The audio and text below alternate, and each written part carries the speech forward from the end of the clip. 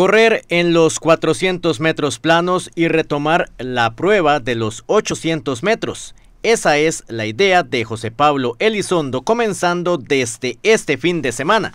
El atleta de Pueblo Nuevo de Cajón viene con mucha ilusión para este año.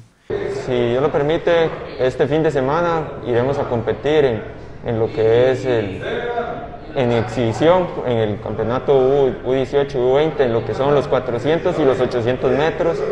Vamos a retomar los 800 que hacía tiempo no, no, no competía, entonces vamos a ver cómo nos va también. Y luego de eso vamos con lo que es el campeonato regional de San José, que va a ser a principios de mayo. Y por último, cerrar con lo que es el, en mayo con, con el campeonato nacional.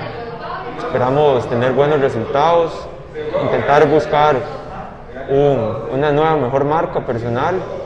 José Pablo recibió esta semana la noticia que está en la lista de becados por parte del Instituto Costarricense del Deporte.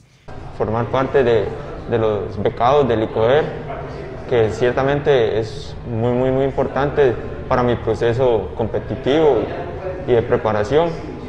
Lo que va a ser para este año, este, que si Dios quiere va a ser un año muy bueno, eso es lo que esperamos, que sea muy bueno. El generaleño quiere dejar atrás un 2020 que además de la pandemia lo aquejaron las lesiones.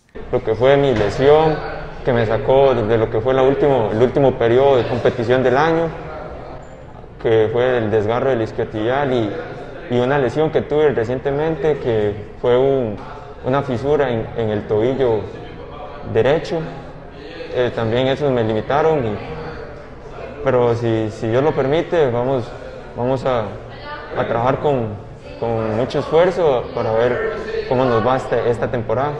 Talento de Pérez Celedón, que espera concretar una gran temporada.